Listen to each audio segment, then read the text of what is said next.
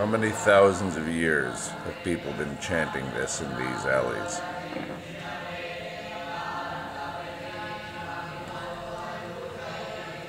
A living history in Varanasi.